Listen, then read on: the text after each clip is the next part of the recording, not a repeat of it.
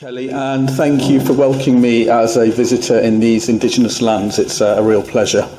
Um, poor Kelly suffered from my inability to manage my uh, avalanche and torrent of emails, so despite her numerous requests, she never actually got a presentation title, so she kindly made one up for me, which is, which is an approximation of what I'm actually going to talk about today. I think we know each other well enough for her to have some estimation of what uh, topics I might want to talk about. So, I want to talk to you really about a lot of the thinking I've been doing for the last year around person centred care. I think the thing that we share in this room, probably all of us, is our desire for health systems and social care systems to be person centred and centred around the individual. And I'd like to uh, share some of my reflections on that and to, which, to what extent it's possible and to think about some of the challenges and potential ways forward to achieving that. But we can start with some good news. Michael Sidibe, the uh, executive director of UNAIDS, made this, uh, made this speech in 2017. He said, At the very beginning, it was a few gay men who said no to indifference, to silence, and to inaction. Not only did they say this, they also created, championed, and led a transformative movement, bringing a people centered approach to the global health paradigm. So clearly it's all been achieved. We have person-centred care and we can all go home, which is great news. But of course, I would challenge that, and I would like to share some data and some reflections today on the extent to which we are achieving person centred care. Because it's uh, terminology that we're hearing increasingly. You, you, can hardly read a paper or go to a presentation without people using the word person centredness, and I think we're not stopping enough to think about what that really what might mean rather than making it a throwaway phrase.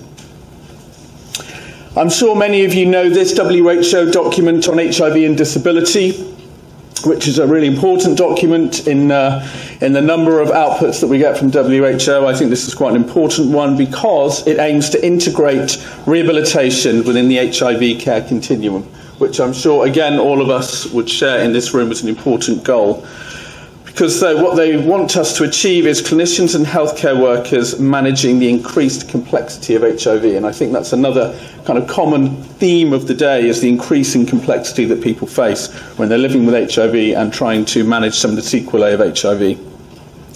This HIV and disability document makes a number of recommendations, again, which you might be able to predict. It's the sort of thing we write at the end of reports. We need better policy, we need better inclusion, and we need accessible environments. I'm sure there's no surprise there. What they do say this document is, is an example, is a, a compendium of examples of practice. They've looked around the world to see where there are good examples of integration of disability and HIV.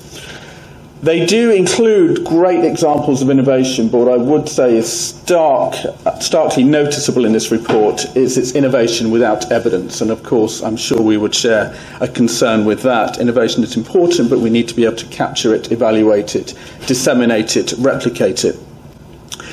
So I think we are working in a field with in an inadequate evidence base. There are a number of systematic reviews out there which are pointing to evidence of effectiveness, and of course I would note Kelly's uh, systematic reviews from last year on aerobic exercise and resistive exercise for people living with HIV, but we still don't have enough evidence.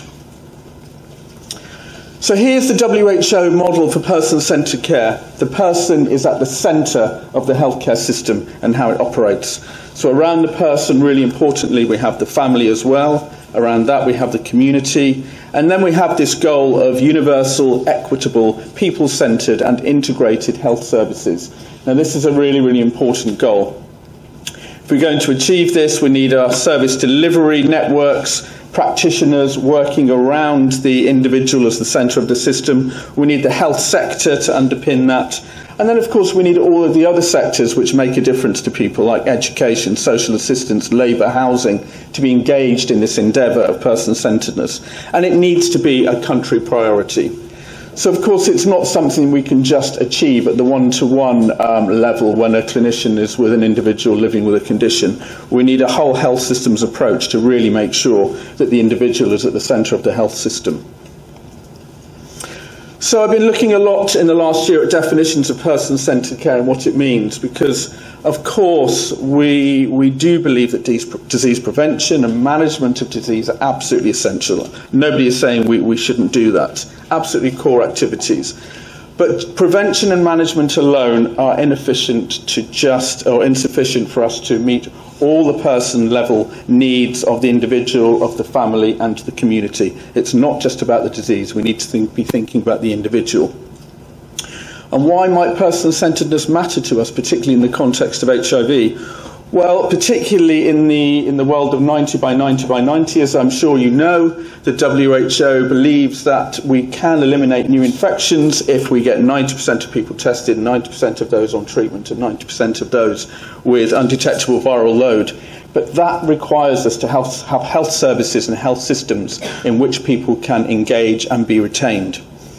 So we need person-centred care, I would argue, for us to optimise patient engagement and retention in care services. We get better community ownership of services if they're person-centred, and they are, of course, more sustainable if the community owns and, and buys into a health service. But those health systems must reflect what matters to the patient and their families. That's absolutely key. And there's a nice definition here from the Institute of Medicine that defines high quality care as care that is safe, effective, patient centred, efficient, timely, and equitable. So I'm really happy to see that patient centredness is part of this definition of high quality. And the International Alliance of Patients Organisations says that patient centredness is care that's focused and organised around people rather than disease. It's organised around health needs and expectations. And of course, that's what we do in HIV rehabilitation and palliative care, is think about the individual and their needs and not necessarily about the disease. So we see individuals, families and communities as participants in their healthcare, not just beneficiaries. And it must be responsive to their needs. It's a real needs-based approach rather than a disease-based approach. So it needs to be holistic if we're going to be person-centred, so thinking beyond a very basic medical model. And if we measure this and we can get a sense of the person centeredness of a health system and how effective we are in achieving that, we can really inform policy practice and drive up quality at the health systems level. And that's much of the thinking that I've been doing for the last year is how can we drive health systems to be better quality through being person centered. We believe also that being more person centred can reduce the inequalities that we see in healthcare provision if we're able to take that needs based approach rather than an approach which is based in diagnosis and or prognosis.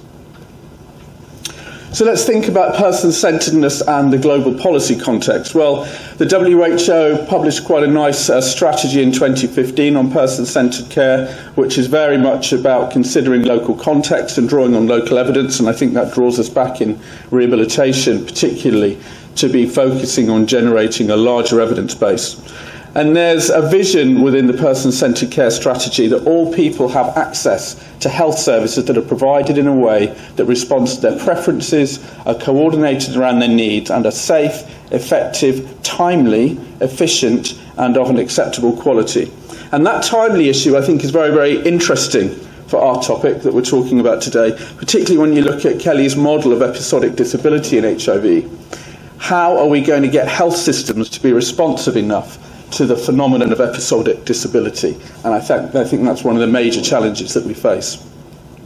And of course, the other major policy uh, win that we have from lots of lobbying is the new WHO's universal health coverage goals, which all governments are fighting for, that people receive a continuum of health promotion, disease prevention, diagnosis, treatment, management, rehabilitation and palliative care. So to be in the UHC, I think, is really important. This is a position we must now monopolise and build on.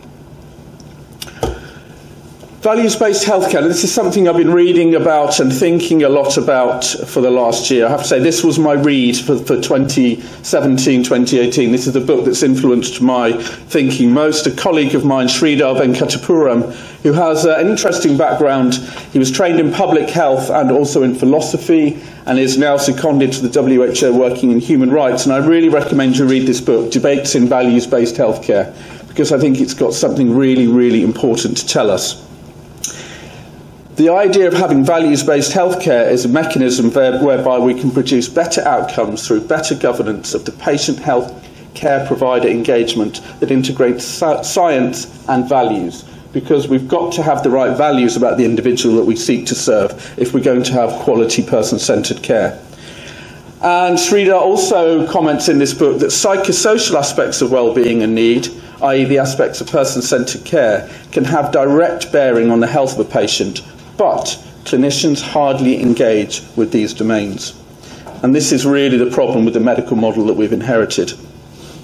But there are some examples of changing practice, and I was kind of looking at the work that Darren's achieved at the Chelsea and Westminster. I'm always quite impressed what I notice quite uh, how many clinicians are referring to his rehab service. That's changing values based practice.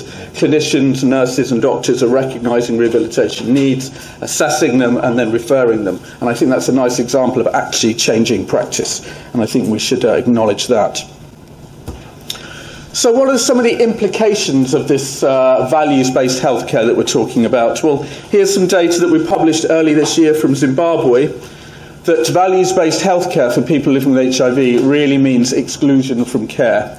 So, clinicians thinking that the, the, populations we were working with, so key populations, so that's LGBT people and sex workers, are actually guilty of bad behaviour and deserve what they get. So, here's a nurse who says there's a prostitute who lives down the road there now is having HIV and AIDS. She used to take other people's husbands. Most people would say, let her suffer. It's her time now. She used to make others suffer, so it's her time.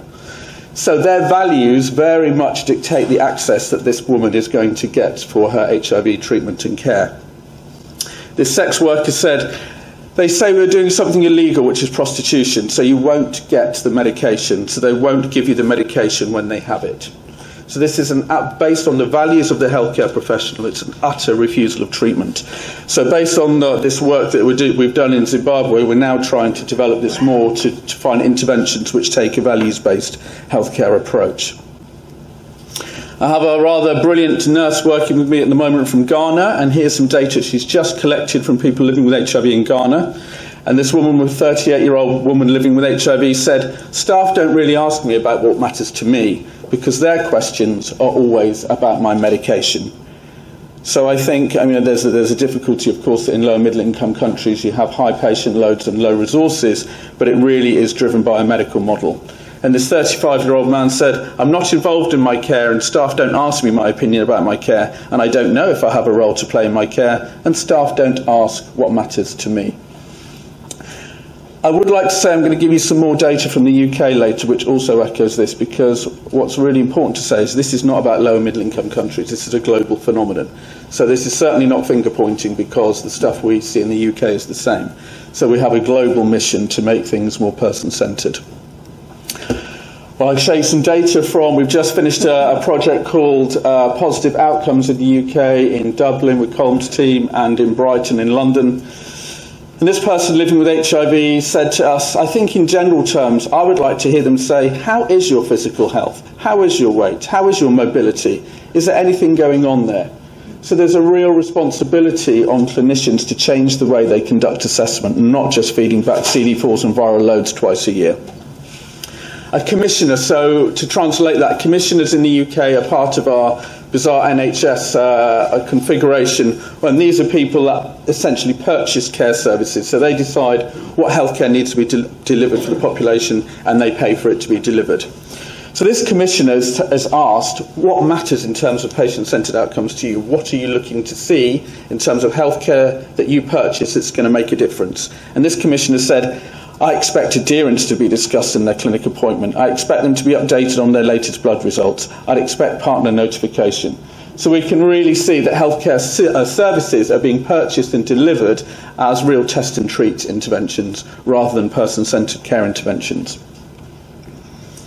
And here's some data we published last year from people with advanced illness. Here's a, a white British gay man in his 50s living with HIV and COPD. It's hard work going through 20, 30 odd years of history and you can't get your breath and you're trying to explain and try and talk at the same time, which makes it worse. So every time this poor guy has an exacerbation, he goes back into the ambulance service, he goes back into an acute admission and he has to explain his problems each time. This is not a person centred way of delivering care. If this guy's trying in a, an exacerbation of breathlessness to explain his problems in his medical history. This gay man, 64, living with HIV and prostate cancer, told us but not knowing what's out there or what's going on out there, I find it difficult asking the right questions, and I finish up spending an hour of somebody's time just trying to work out what's good for me. So the problem here is the responsibility is very much on the individual to know what questions to ask and who to ask, rather than the, the information being centred around him. And we really need to think more carefully about how we deliver information services. And back to the guy with HIV and COPD. I invariably go into A&E, accident and emergency, in Hospital X. We're on first name terms. They clerk me in easily. I've had excellent care. But if I go to Hospital Y, because you can't always choose, the ambulance takes you to the nearest hospital. If I go to Hospital Y, it's not a nice place to end up. They don't have a backstory there. It's hard to go through 20 or 30 years of history when you're breathless. Before they were happy to drive me to Hospital X 45 minutes ago, but now they think I won't make it, so they take me 15 minutes away to Hospital Y. But I have to say there's a really nice initiative in London across all London boroughs now that the ambulance service for people with advanced disease can immediately pull up a file on anybody which can stop them being admitted, can see their care planning if they've been asked for not to have an admission, and they can prevent this happening. So there is an initiative now in London for the ambulance service to be able to link to all patients' records and to see this person is not for an admission or they have a care plan to avoid admissions. And here this guy's putting his, his issues into a broader context. The other main symptom I've had is falls. I have Cushing syndrome from the steroids and terrible pain and leg weakness. I get stuck in the bath. And I think that's what put me at the suicide risk in the first place, severe worrying. So this guy's problems are beyond his disease. He has many, many psychosocial concerns. So, what are some of the challenges to quality of care for people living with HIV? Well, when we think about multimorbidity in HIV, there's a great concern about how we get best communication and assessment when we're crossing specialty areas because people living with HIV are now seeing cardiologists, they're seeing care of the elderly, they're seeing neurologists. How's that seeing oncologists? How's that going to work?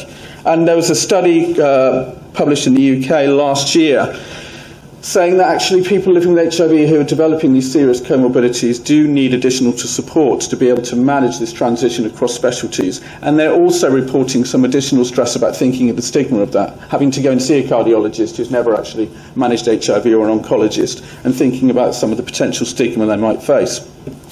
This data I thought was very interesting from Ontario that I found.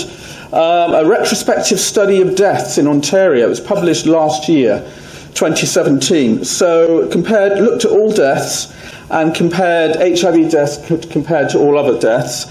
People with HIV were dying younger, 56 versus 76. In the last 90 days, they spent more time in hospital, so they spent 20 out of the last 90 days in hospital versus 12 days out of 90 for people who died without HIV as the un- underlying contributing factor, and their costs were much higher. Now, this study we ran a couple of years ago, PRISMA, across seven European countries and Africa, showed that actually the general public, two thirds, want to die at home. People don't want to die in hospital. Yet, you can see that people with HIV at the end of life are spending a significant amount of time in hospital. That is not person centred. And also, this uh, data we've just published this year was an analysis of death certification in 12 countries around the world. And uh, I led the analysis on HIV, and we could see that HIV patients, compared to cancer patients, are much more likely to die in hospital. And there may be some clinical reasons around uncertainty, etc. But actually, dying in hospital is not person centered care, and it's not where people want to die. I'd like to talk a little bit about pain. I'm sure many of you know that pain is one of my big interests in HIV. We know that it's highly prevalent. We know it's associated with things like poorer quality of life, viral rebound, risk taking, poor adherence, treatment switching, and suicidal ideation. We've shown all that in a number of cross sectional studies. Pain really matters from a clinical and public health perspective. But we've showed um, with some data led by Jessie Merlin that we've just had accepted this year in JA. Jessie Merlin, some of you may know, is an HIV physician in the US with a particular interest in pain. She looked at over 2,000 people living with HIV. 25% of those had chronic pain a quarter of those were having problems with no show and had missed at least one primary care visit. And chronic pain in these people living with HIV in the US, I think it was in the southwest of the US, was associated with no shows but also associated with virologic failure. So pain really is important, and that data should be available soon. Another study that we've just completed and is uh, review at the moment is the POPPY cohort. So it's a large cohort study led by Carolyn Sabin and Alan Winston. Alan Winston, you might recognise, was here last year or the year before talking on neurocognitive deficit. We've just submitted this cohort study for publication. Three cohorts were recruited in the UK. Older people living with HIV, so age 50 and above, that's 700 people. Uh, people aged below 50 living with HIV who were demographically and lifestyle matched, that was 374. And an older demographically lifestyle matched who were uh, HIV negative, age 50 and above, and that was 300. And we've just been analysing the pain data on that. And we can see that 70% of the older people living with HIV had pain in the last month compared to 63% of younger people living with HIV. But what the interesting thing is here, we can see that the pain prevalence for younger people living with HIV is similar to older HIV negative people. So clearly, pain is a big issue for younger people living with HIV. And the same story for current pain, you can see in the middle column, younger people living with HIV had a similar prevalence of current pain to older HIV negative people. So pain is a real issue. And of those with pain in the last month, 14% had missed days of work or study due to pain. So there's a, clearly a rehab issue here. And 60% had seen their doctor about their pain. So that's interesting. So, two things I'd think there. That means 41% of people haven't reported their pain. And we've seen this in previous studies that uh, patients don't think that their clinician's interested in their pain, so they don't bother mentioning it.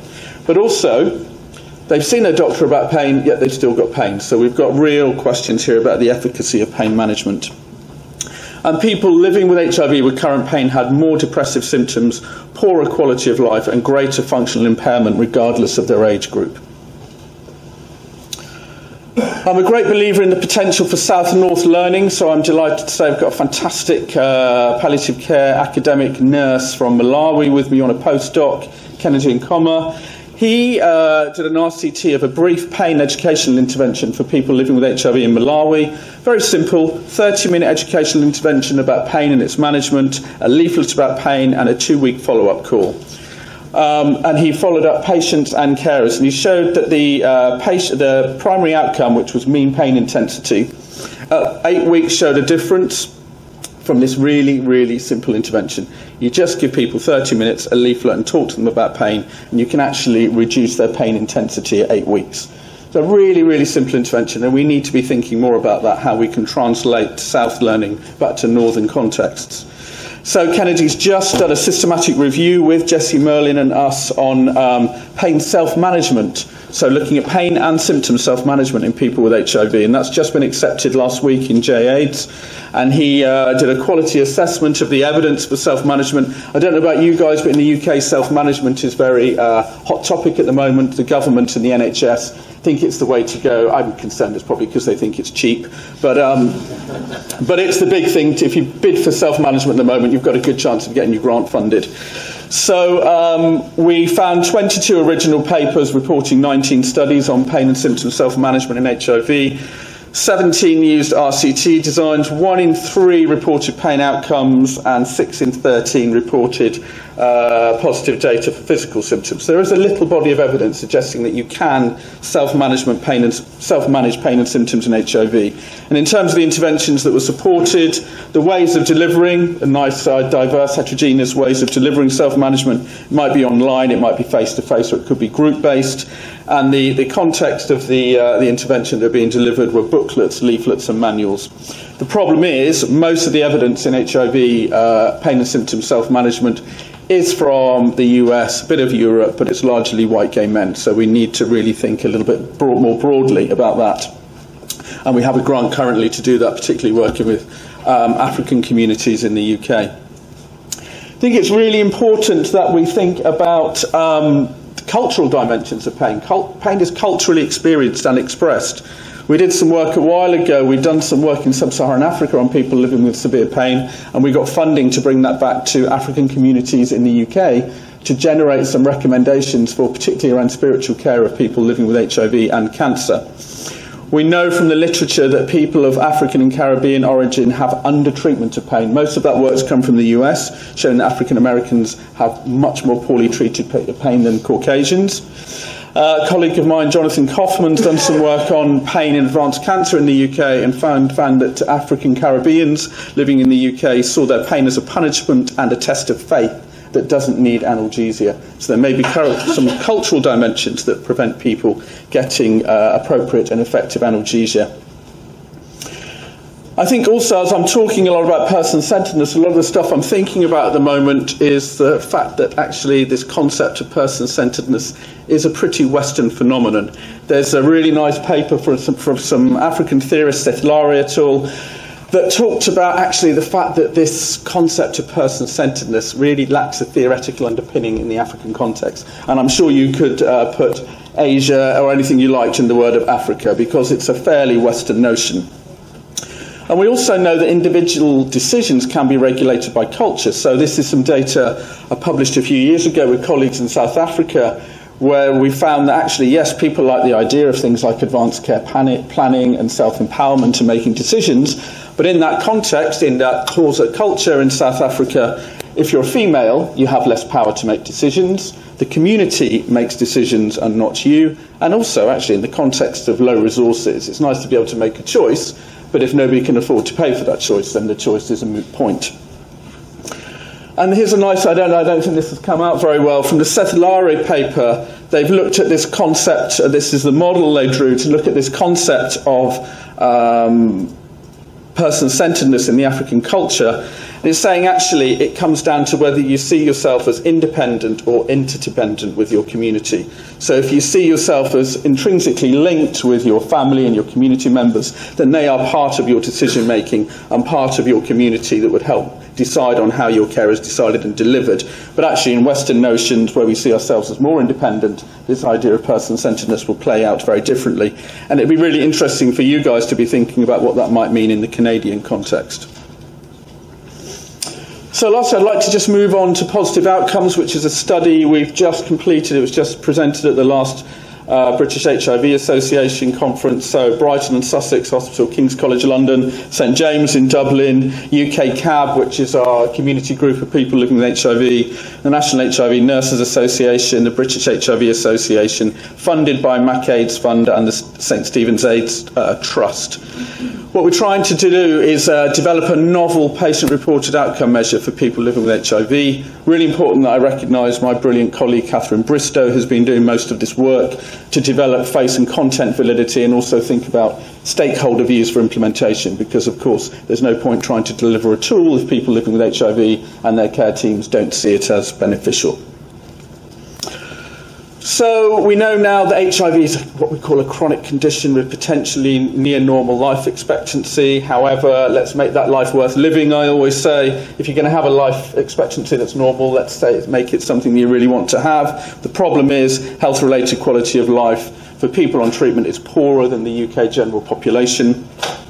We know, you know, I don't do these studies anymore because I think I started boring people, but I have a particular interest in pain and symptoms, really high burden of symptoms, which are physical, psychological, social, and spiritual. We've got emerging physical complications, things like bone density, which we heard yesterday, cardiovascular problems, renal, liver, malignancies. We're seeing all these problems emerging. There was a nice paper a couple of years ago that called the contribution of physical and mental health to health related quality of life as the current critical challenge in HIV medicine.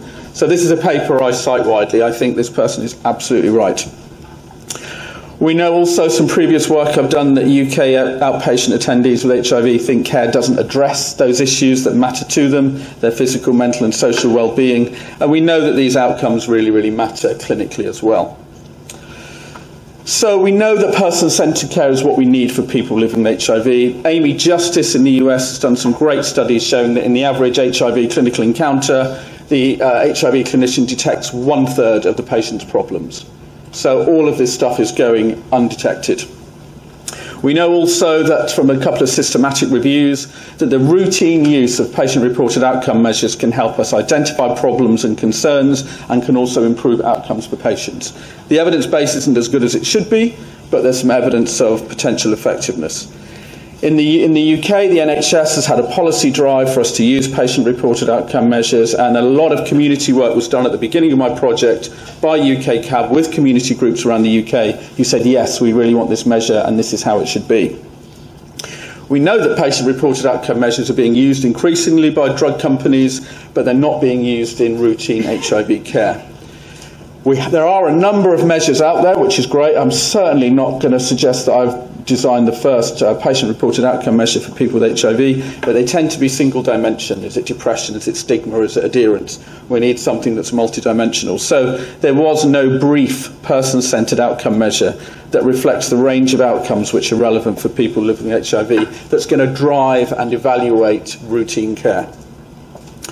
So, what we aimed to do was determine the priorities of adults living with HIV in terms of what outcomes we should measure from their NHS care, develop a patient reported outcome measure, and also to think really importantly about how that should be implemented. And one of my colleagues, Barbara Antunes, did a systematic review of PROMs a couple of years ago in terms of their implementation, and it was really clear if they're going to work, get your stakeholders on board from the outset. So that's what we tried to do. So it's an observational qualitative study. We use the COSMIN guidance, which any of you working in healthcare measurement scales will know their taxonomy and guidance, and the Rothrock guidance on the development of items for, for a valid PROM. So we talked to 28 people living with HIV, 21 multi-professionals and 8 commissioners. You can see the Rothrock model of how we went through the evidence and the development of the items, which was working through the literature, the data, and then we had an item generation meeting of four people living with HIV, four health researchers, and five HIV professionals. We spent an afternoon arguing about what should be in and what should be out but uh, we did reach consensus, which is great. And then we had a second round of revisions to refine those items.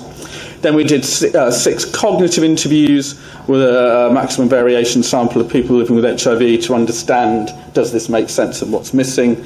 And then we did some further rounds of cognitive interviews on our, um, on our refinements. So here's our sample of people living with HIV and the professionals and the commissioners. People talked about diverse but interrelated problems, and under the six domains, they talked about physical problems, cognitive problems, psychological problems, welfare problems, social problems, and information needs. They also said they wanted an item which is a global assessment of well-being and some free text opportunities. And free text is something we use in one of our other outcome measures, the POS, which we're now using in 140 countries around the world. And that idea of a free text identification of the problem at the end is really, really important. So, what might the benefits be of a PROM? For people living with HIV, they said it's going to make our care more person centred and it's going to empower us. It's going to help people living with HIV to raise their concerns, to feel heard and valued, and to share sensitive information. It's going to help build resilience and self confidence. It's going to encourage better referrals for additional support. I don't know about you, but our NHS is shrinking, so all the additional services within HIV care are being stripped out, so you really have to be referred out now for things like psychological care. It's going to reduce the assumptions about what matters to you, because I'm actually going to ask you what matters to you. It's going to get an individual baseline and help you to monitor changes over time. It's help us get, to know new patients. And really importantly, it's going to go beyond adherence and viral load. For services, it's going to enable us to tailor to specific needs, understand the changing picture, get more efficient, build confidence in clinicians. Because what we've found in previous research that we've published is actually if you've got a sound, well structured PROM, it helps clinicians feel confident to ask the things that matter and also help us to justify current spending. Some of the challenges are going to be the heterogeneity of people living with HIV, because of course we are looking at a diverse uh, population. Issues around literacy, because we still face that challenge, and I know that's something in Dublin as well. Um, there's um, a little bit of a concern amongst clinicians about opening up a can of worms and asking about things they don't feel capable to manage. So, of course, people need to feel well supported. And the most important thing is data must be used. PROMs should not be a tick box exercise. Uh, in my building in the afternoon, the clinicians always have a, an MDT in the afternoon. They have the outcome measures up on the screen. Each patient they review, they see the outcome measures over time, they discuss their outcome measure response and how they're going to clinically respond to that. And that's how PROM data should be used. It should be driving patient care. So we've got 23 items, and this may reduce yet to physical, cognitive, psychological, welfare, social, and information. And that includes the single item for global assessment and the free text option, and everything is scored on a Likert scale. So, on summary of our prom, we know that people living with HIV and their care teams want an HIV specific prom that reflects the range of outcomes of people living with HIV. People want it to drive, evaluate, and improve care. And we know from our study now that we have face and content validity, and we've used the best available methods that we, we can in terms of health scale development. And some of you may have heard of the Emerge project, which I'm part of, so in five European countries now. Uh, we've got the prom going on to an app, and we've got three and a half thousand people living with HIV across Europe who are going to be using this prom on their phone. Fact, I'm going from here to Barcelona for that meeting to see how that's going. So, very excitingly, we're looking at stable patients using this prom for their care management Last couple of things I want to share with you is the BHIVA standards. So this is a seven-year cycle. Every seven years, people living with HIV, Esther's part of that team, people living with HIV, clinicians, nurses, doctors, social workers, allied health professionals come together and write a really, this is free online, a really detailed set of standards of care for people living with HIV. Free, freely available. The idea is somebody living with HIV can pick up these standards, go and see any clinician, social care agency, and say, This is what I should expect. I should expect you to meet all of these standards in my care, and I demand it. So it's quite a long, long process to develop these standards of care, but these have just been launched at the last BHIVA conference. And I did some work on that this year. So within the standard that we've developed this year, it's about communication being shared at a manner and pace in line with patient preference, being an ongoing process for should preferences and priorities change, making sure that we understand what information has been shared and understanding patient insight with their disease making sure that we recognise clinical uncertainty, particularly for those people where prognosis or recovery might be complex or unpredictable, Palliative rehabilitation is now in the BHIVA standards of care, which I'm absolutely delighted about, and I'm sure Darren is too. And um, the BHIVA standards are a model which I would recommend that you guys have a look at, because I have to say, I think it's something that as a community we're, we're quite proud of. So I've been given my five minute warning, so I'm going to. Uh, I'm on my 30 second warning, so I'm on my, uh, on my final slide now. So Kelly looked into her crystal ball and, and well predicted that I would look at future and where we're going. So so, what ongoing research is in the pipeline that we hope we'll be able to talk about in the next few years? So, I'm glad to say we've just just heard from NIH. We've got a study in India looking at HIV and cancer and some of the stigma around that. So, that's going to be really interesting on how we make oncology services more person-centred. We've got a big program of work now looking at the theoretical underpinnings and practice of person-centred across conditions across Asia, um, the Middle East, and Sub-Saharan Africa, which is going to be very exciting with Emerge and also a new program called Integrate, funded by the EU, and a WHO program that I'm leading, we're looking at apps and mHealth and using proms for better care for people living with HIV and cancer. We've got Darren's systematic review, which we're looking forward to, looking at the uh, systematic review of global disability, uh, the prevalence of that. Uh, really delighted that we've got a British Council fellowship for Kelly. He's coming this year. He's going to be looking more at the HIV disability measure. So we're going to have some great data coming out of that. Um, through the Global Challenges Research Fund, we're looking at person centeredness and health system strengthening, which is really important in Africa, and also looking at conflict and health in the Middle East. So, looking at the idea of person centeredness in conflict. So, I'm working in Jordan with Syrians and Palestinians, trying to understand the nature of having been through the trauma of uh, being a refugee and displaced and what that might mean for social connectedness and reoccurrence of trauma. Access Care C is just launched, so we're looking at better communication across the health system for people in terms of sexuality. We've got the pain self management grant, so we're developing a uh, pain self management intervention translating from Africa to the UK. And then Simon's here. Where's Simon? And there's Simon. So, with the Mildmay, uh, they've been collecting, we've got a, a, collaboration across the UK called UKROC, all specialist rehabilitation inpatient units upload outcome and cost data. We've just uh, published some data showing it's really great data. You can show within specialist rehab, according to patient complexity, what's the cost per admission, what are the outcomes you achieve for that, but also how many weeks of specialist rehabilitation do you need to recoup that cost. So we've published it for all specialist rehab in the UK. We've just done an MS analysis, and Simon's now going to be uploading the data for HIV, so we're going to be able to show if you refer to his specialist HIV rehab centre, what's the complexity of the patient, what outcomes do you achieve, and how many weeks of his service do you have to buy to recoup that investment? I'm really, really excited about that because that's the kind of evidence I think we need for people to be investing in these services. So that's a quick uh, forward scan to the future. Sorry for going over time. Thank you very much.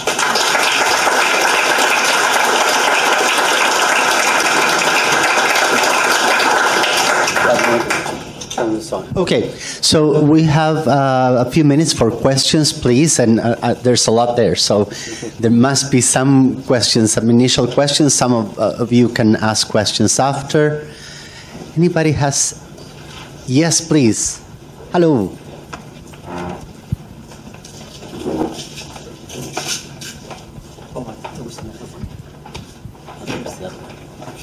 Sorry,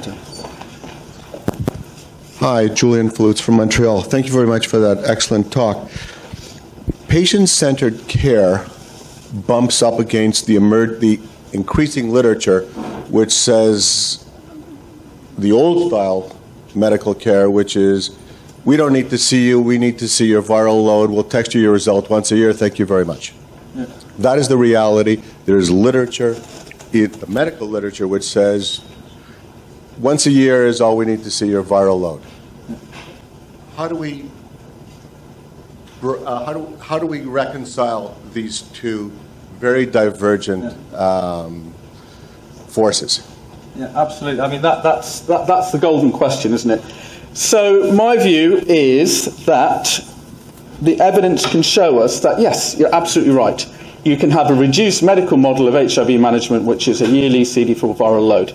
The argument is if you don't take a person centered approach and you don't understand people's context, you don't understand their uh, psychological, their uh, um, social concerns and problems, they're actually going to end up having problems with adherence, having problems with uh, maintaining in care. So my argument, I, I, remember sitting in, in Washington pulling my hair out when they were doing the next five-year planning for the PEPFAR, um, 45 billion investment. They asked me along, very nice, but that's all they wanted to do, is what you were saying. And I was saying to them, the problem with that, if you have a really reduced medical model, which is test and treat, and have a, a minimal level of follow up, what's going to happen? You're going to leave people with lots of unassessed and unmanaged social and psychological concern, which is going to lead to adherence, which is going to lead to this medical model not being as effective as you think it is. So we need to constantly be showing evidence that if you ignore those other aspects of patient identity and need, everything is so interrelated and interconnected. If you ignore it, you ignore it at your peril, and there is going to be sequelae in terms of your medical management of these patients.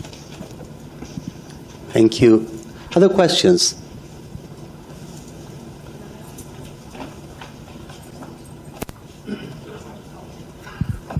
Uh, good morning. Um, my name is Fanta, and you said like to you guys do the research in Africa and sub-Saharan Africa and bring it to UK. Um, as researcher, we understand that the type of HIV is different from Africa and UK or Canada or state. So how that research will be reflective to people in UK or I want to know also if you do research in UK population and bring it back to Africa, how the correlation between the two uh, different population being different continent and different type of uh, virus and different different type of gene also because we are different. Yeah, absolutely, absolutely. So I guess most of my research has been in sub-Saharan Africa for the past 15 years. And some examples of the transfer. So I developed outcome measures in Africa, which are now actually part of um, standards of care for many NGOs within sub-Saharan Africa, saying we have to use this measure to show it's a quality service. And what we developed with colleagues in Africa was some aspects of inclusion of spiritual well-being. This is an example, spiritual well-being as part of your clinical assessment because we showed in some quality of life studies that actually quality of life was the strongest, um, spirituality was the strongest predictor of quality of life for people living with HIV and cancer in sub-Saharan Africa. We developed a single item to include in a multidimensional tool in sub-Saharan Africa. Went really well. It's been um, been used. And now, when they were updating outcome measurement in the UK, I offered this. And what was really interesting is that patients and clinicians saw this item and said, This is really helpful, this is what we should be using. There's a strong patient voice. And now, so the item that we've developed in Africa is now part of the UK government's standard set of outcome tools in the UK, a simple measurement of spiritual well being. So you can actually translate things. And the idea of pain self management in, in sub Saharan Africa it's worked really well with Kennedy's work, but of course, 50% of people living or being diagnosed with HIV in the UK are people from sub Saharan Africa. So there's a huge African community of people living with HIV in the UK. So, what I've uh, asked to do in this grant is we want to do some cultural adaptation of the pain self-management intervention. So what I'm not doing is a single intervention. We're doing adaptation of it. So men who have sex with men and people from sub-Saharan Africa, people live, uh, living with HIV in the UK, may have a differentiation of that intervention. But the idea is that it has the core value of self-management. Thank you. I'm sorry, we need to take a little break, but please hunt this man down and ask him as many questions because he's got a lot of good wisdom and information for us. Thank you very much. Thank you very much. I appreciate it.